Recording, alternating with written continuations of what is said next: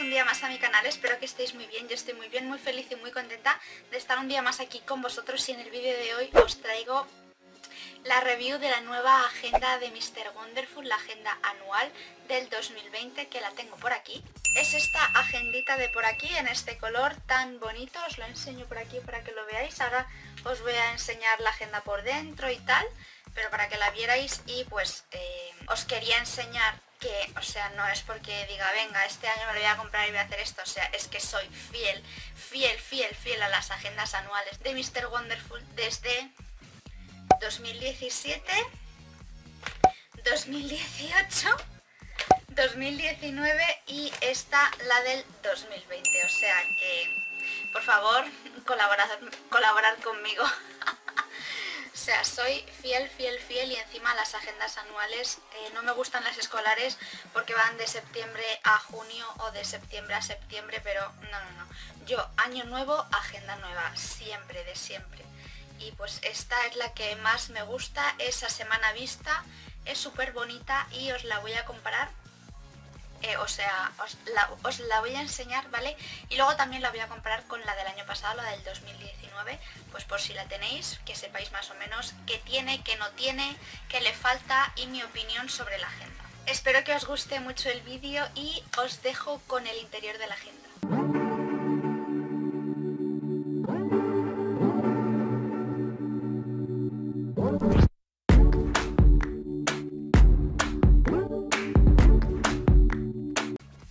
Aquí tenéis la agenda de Mr. Wonderful, la agenda anual del 2020. Yo he elegido esta que pone 2020 y mis miles de cosas geniales por hacer. ¿Vale? Es así, azulita, con la cinta rosa y por aquí atrás es igual y aquí pone ¿A qué estás esperando? Hoy puede ser el día y ahora el momento para que todo lo que te has propuesto por fin sea realidad. Cúrratelo ya por todas es esta, me ha costado 16,95, la he comprado en el corte inglés y vamos a ver qué es lo que lleva dentro. Vale, a ver. Vale, pues aquí lo primero que tenemos es esta regla que se puede quitar. Trae esto así para poder entrar y quitar fácilmente y ponerla, pues por ejemplo, si la queremos poner aquí, durita, ¿eh? O sea, es como de plastiquito. Es que no me quiero fastidiar las uñas. la podemos poner aquí y entonces serviría como de separador porque se vería por arriba, ¿vale? Entonces, esta regla y luego también trae este bolsillito. Allá donde vayas, llévame contigo. Para meter aquí cualquier cosa. Ah, mira, qué buena idea. Vale, y encima al principio de todo, muy bien. Vale, si pasamos la página, creo que aquí tiene para... Aquí hay para... Mm, mm, no sé si esto hay que romperlo, para romperlo, abrirlo, para que se mm, pueda como cerrar el bolsillito, pero vaya, que yo lo voy a dejar así. Luego aquí vienen todas estas pegatinas, una página, dos, 3, 4, 5, 6, 7, 7 páginas de pegatinas, si no he contado mal. Y esta es súper ideal porque es como cositas más puntuales, más recordatorios y tal. La verdad que muy bonita. Esta me encanta mucho. vale, si pasamos esta es la presentación, me llamo, no sé qué, pues la presentación tuya y como de a quién pertenece la agenda, ¿vale? Viene aquí para poner una foto y todo. Una página de horarios, otra página de horarios, otra página de horarios, el calendario del 2020, ¿vale? Y aquí ya empezaría la agenda. Estrena los 366 días con cara de viernes y energía de la buena, ¿vale? Luego vienen aquí extras y algo que estoy viendo que me encanta es que, mirad, tiene los meses, ¿vale? Enero, Luego si nos vamos a febrero, marzo, ¿me he saltado abril? Sí, marzo, abril, mayo, junio, julio, agosto, septiembre, octubre, noviembre y diciembre. Vale, qué guay. Aquí al final vamos a ver los extras que tienen. Os enseño la agenda porque yo la he elegido a semana vista. Aquí viene el calendario del 2021 y de extras viene una lista de teléfonos. Esto para ahorrar, para poner todo lo que nos gastamos en cada mes. Vale. Luego también listas. Vale. Y ya páginas de notas para apuntar lo que queramos de diferentes modelos. Mira, estas son bastante chulas. Estas también me encantan mucho. Más notas. Y aquí por último tiene pues estos posits para poder utilizar pues, ya sea en la agenda o en cualquier otro sitio, ¿vale? Os voy a enseñar el mes de enero, por ejemplo, ¿vale? Empieza así, con esta portada. Vale. Como veis, es semana vista. Me parece como que está muy organizadito. Otras, en comparación con otras, eh, lo veo como que está más organizado, más cuadriculado. Me gusta bastante. Y aquí viene el el mes y la semana marcada, una frasecita todos los días, como siempre, los días separados, como separados de las cosas que hay que hacer. Y importante esta semana. luego aquí, por ejemplo, eh, pues una frase de cada semana, como siempre hacen. Y bueno, Las páginas son bastante gorditas.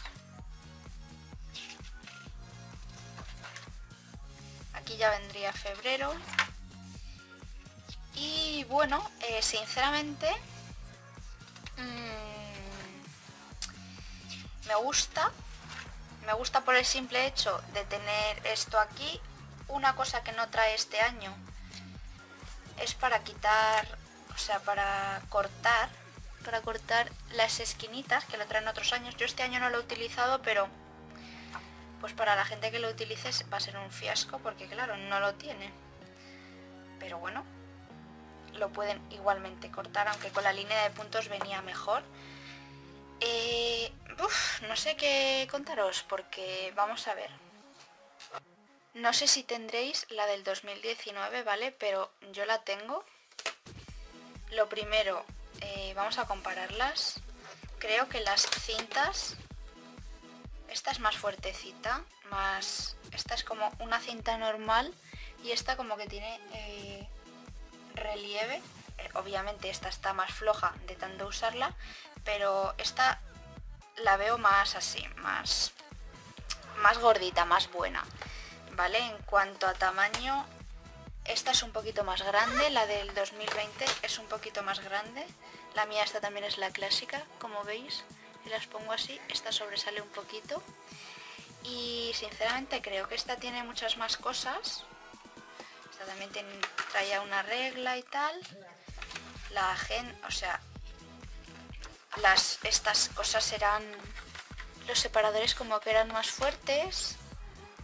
Y veis, a ver, vamos a ver, a ver, algo que esté un poco utilizado para que veáis. vale, por ejemplo, esta. Vamos a abrir una, una página simplemente para que lo veáis. Esta página con esta otra de por aquí. Las diferencias pues las veis, los días en la del 2019 estaban aquí arriba ahora lo cambian aquí a la izquierda el calendario sigue igual aquí también aparecía eh, para llamar o mensajes o cosas que tuvieras que apuntar importantes aquí también aparece llamadas o mensajes o cumpleaños. Lo que esta agenda incluye es el estado de ánimo, ¿vale? Y estas rayitas como que se ven más, ¿vale? En cuanto a extras, viene lo de, que yo no lo utilizo, como veis, pero bueno, lo de ahorrar, muchas más listas, notas... No, esto lo puse yo, de otra agenda, las pegatinas también, pero esta traía como listas que se podían sacar, ¿vale? Que se podías recortar, estaba como con línea de puntos. Me da la sensación que esta tenía más cosas. Vale, os voy a seguir enseñando por si acaso entre medias de los meses hubiera algo más. No, pero las cosas así como más vistosas están en las portadas de los meses. Vale, y luego pues ya veis. Es bastante sencillita, yo creo que también la han querido hacer como un poco bastante más práctica. No tanto con tantas cosas porque luego la gente pues sí, es verdad que se echan de menos, pero es que si no las utilizas pues es papel por tener papel por tener papel. Aquí he visto antes esto de octubre que es como un mood tracker de estos igual que bullet journal que es para poner qué tal ha ido todo el mes, ¿vale? Chulo, regulero para olvidar, o sea, esto también lo podéis hacer con todos los meses en notas. Lo hacéis aquí vosotros y también lo tendríais para todos los meses, o sea que bastante bien. Y eh, esta sería la agenda.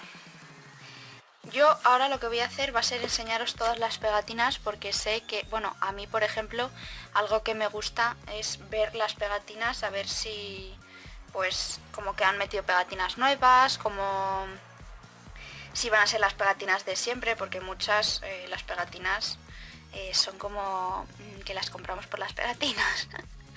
Así que os voy a enseñar detenidamente todas las pegatinas para que las podáis ver, ¿vale? Y nada.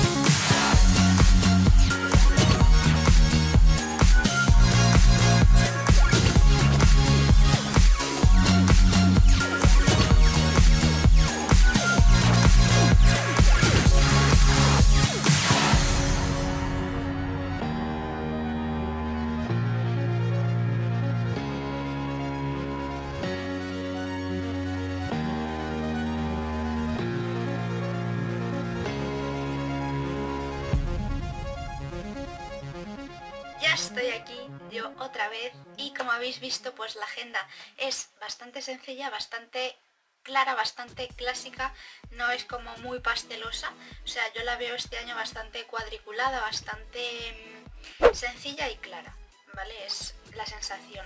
Luego eh, es como bastante más finita, que esto no lo he enseñado antes, bastante más finita que la del año pasado. Sí que es verdad que yo le añadí eh, alguna, alguna página de posits, pero aquí podéis ver y obviamente pues esta está más de tralla, más, más usada, pero esta la veo como más ligera, más finita y más me la llevo a todos lados, la verdad. Espero que os haya gustado mucho este vídeo. Decidme aquí abajo si vais a pecar con la agenda, si eh, sois de agendas de anuales o escolares, de año escolar, eh, si sois de Mr. Wonderful o directamente habéis comprado otra de otra marca, cuál es la que mejor eh, os viene a vosotros si la semana vista o día por página o sencillamente me podéis recomendar otro tipo de agendas porque yo tengo un problema y es que esta me la he comprado hoy, pero no sé si os acordáis, en un haul que subí hace una o dos semanas, no me acuerdo muy bien, eh, os enseñé esta del Stradivarius, que esta es un planner que, bueno, pues esta la voy a utilizar más para tralla, más para guarreo, pues porque esta, por ejemplo, tiene cosas del trabajo está pues fatal, está del día a día, ¿sabes? Así pintarrajeada y tal. pero la de Mr. Wonderful va a ser pues ideal. Y lo que voy a hacer también va a ser utilizar las pegatinas de las del año pasado, pasarlas a esta, recortaré las páginas y las añadiré aquí o directamente en el bolsillito que os he enseñado que viene aquí al principio pues en este bolsillito eh, puede que directamente aquí las pegatinas o bueno ya ya veré qué hago espero que os haya gustado mucho el vídeo si es así dadle un like enorme para que yo sepa que os gustan este tipo de vídeos y suscribiros al canal, obviamente, que luego mucha gente ve mis vídeos y no está suscrita, os invito a suscribiros, es totalmente gratis, ya lo sabéis, y a mí me hace muy feliz. Así que nada, un besito enorme y nos vemos en el próximo vídeo.